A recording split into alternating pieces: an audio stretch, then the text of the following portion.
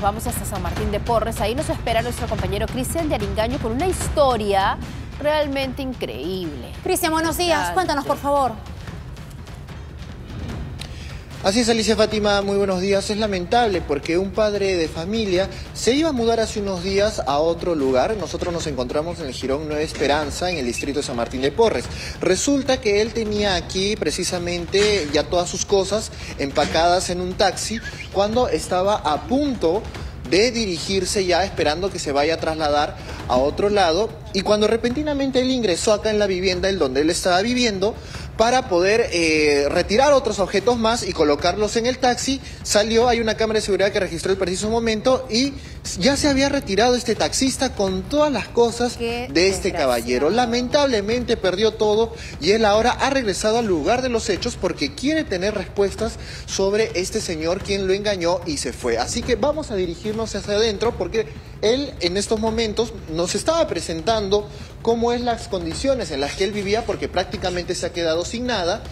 Y mientras nosotros nos estamos dirigiendo aquí al inmueble, vamos a recalcar que la placa del vehículo porque se ve claramente en las imágenes, es del C2W618. Entonces se ha buscado en SUNAR, se ha hecho la consulta vehicular y la propietaria es una mujer. Se trata de Blanca Luz Ramos Padilla. Aquí tenemos la información.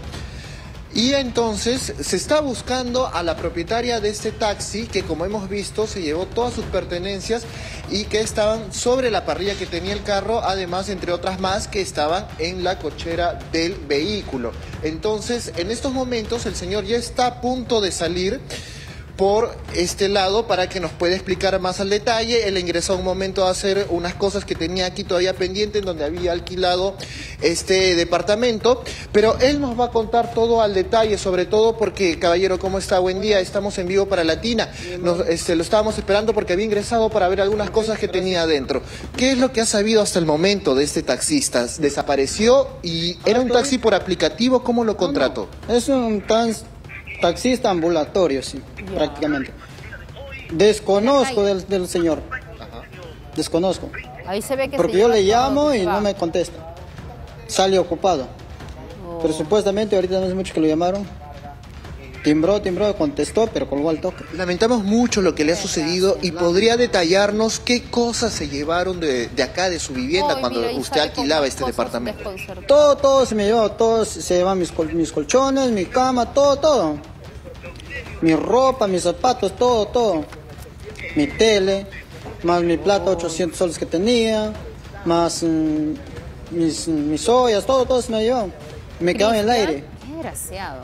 Cristian. Sí, Alicia y Fátima, las escuchamos. solamente una acotación. Ahí estamos viendo el video de la cámara de seguridad. Al señor, pues, Nelson, ¿no? Totalmente desconcertado, mirando hacia la derecha, a la izquierda, buscando al señor taxista, ¿no? Porque había ya metido todas sus cosas y rápidamente se sube al volante y se va. Él sale con otros paquetes para seguir llenando con más bolsas y ya no estaba en la unidad. Cuéntanos más, por favor, ¿qué fue lo que le dijo? Hasta ahora no le responde, ¿qué más sabemos?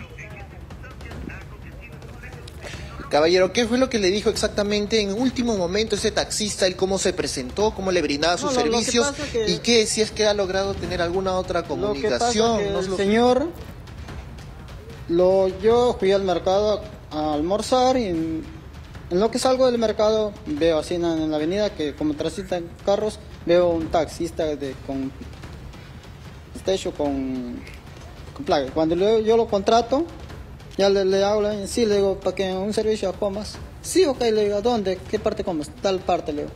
Entonces ya me, dice él, ok, ¿cuánto? Tantos. No, le digo. Él me pidió 40. No, 35. ¿Está bien? Le digo. Ok, digo. Ahorita le dice, no, le digo, yo sería para dentro de dos horas, le digo. Ok, me, me llama por acá, si es que estoy cerca, ya, si no, nada mismo. Dice, así. Cuando ya lo llamaba la ha sido la una, y una, dos, tres, a las cuatro, de recién lo llamo. No, dice, estoy por la Grau, dice. Ah, ok, está bien, le Entonces yo ya había contratado uno de por acá, pero él me dijo para las seis de la tarde. Ya. Cuando después a las cinco en punto me llama el señor. ¿Sabes qué? Dice, ¿ya te hicieron la mudanza? No, le digo, todavía. Ah, dice, estoy aquí en Javish. Ok, le digo. Dice, sí, no, no hay problema, le digo. como yo a ninguno les había pagado, yo el hecho que yo quería servicio con sea quien sea. Entonces ya pues viene, dame la dirección, le, le di, vino ya, se estacionó acá donde estamos y hemos subido las cosas, todo. ¿Se acuerda el nombre de este señor? No me ha dado nombre, solamente el número de celular nada más. Pero con el número podemos... ¿Tiene ahí el número del celular? Con el ya. ¿Le podemos timbrar en todo caso, caballero? No, sí, le hemos timbrado. A ver, pero podríamos hacer el intento, Alicia y Fátima, justamente lo estamos acompañando Por a él. el Sabemos que es un señor que él trabaja día. A ver si sí, se las escucho. Vamos a ver este a timbrarle, por favor, señor. A ver. Sí. A ver, a ver, a ver. ¿Qué sale? Acá vamos a marcar el teléfono. ¿Cuál es el número? Dícteme. A ver, bueno, mientras el señor está buscando el teléfono, reiteramos la información en todo Y caso. reiteramos todo lo nos que ha encontramos En el perdido. distrito de San Martín de Porres. Y Cristian, Aparte de estos dos colchones, ¿no? Hay, que, hay que recordar también, teníamos un... Claro, ahí estamos viendo la imagen. ¿Le contestó o no le contestó?